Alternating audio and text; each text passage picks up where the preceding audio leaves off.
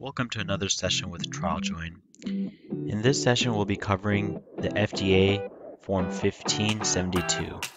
This is what every principal investigator will have to sign and provide to the sponsor, otherwise they cannot be part of a research study. So some of the commitments that are made through the 1572 are that you will inform all subjects that the drugs will be used for investigational purposes and you cannot make any claims to their curing potential or efficacy or anything along those lines. Uh, you will also make a commitment to supervise the investigational study personally. You will make sure all the individuals that are assisting in the study, such as coordinators, MAs, and other personnel, are always informed of their appropriate obligations for the study. Always have to ensure that they follow the protocol exactly.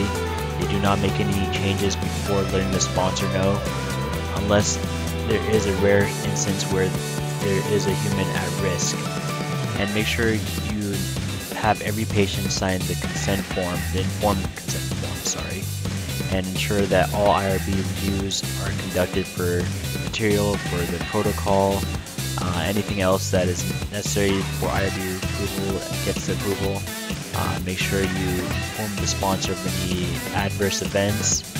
Um, and you also record everything and keep detailed logs of everything uh, and, and store it for the designated time that the sponsor and the FDA requires.